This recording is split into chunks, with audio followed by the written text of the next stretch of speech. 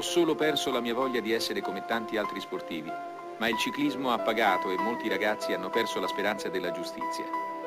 E io mi sto ferendo con la deposizione di una verità sul mio documento, perché il mondo si renda conto che se tutti i miei colleghi hanno subito umiliazioni, in camera con le telecamere nascoste, per cercare di rovinare le famiglie, e poi dopo come fai a non farti male? Io so di avere sbagliato, con le prove però, ma solo quando la mia vita sportiva, soprattutto privata, è stata violata, ho perso molto. E sono in questo paese con la voglia di dire che hasta la vittoria è un grande scopo per uno sportivo. Ma il più difficile è di avere dato il cuore per uno sport, con incidenti e infortuni, e sempre sono ripartito. Ma cosa resta? C'è tanta tristezza e rabbia per le violenze che la giustizia a tempi è caduta nel credere.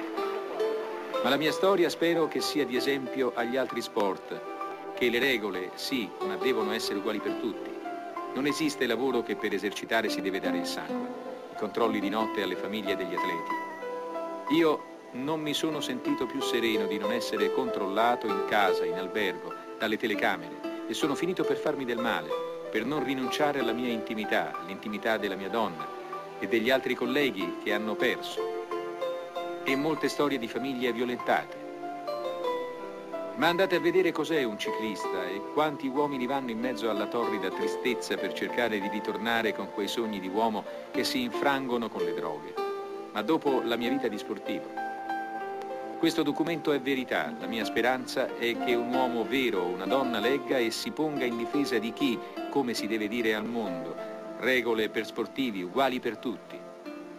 E non sono un falso, mi sento ferito e tutti i ragazzi che mi credevano devono parlare.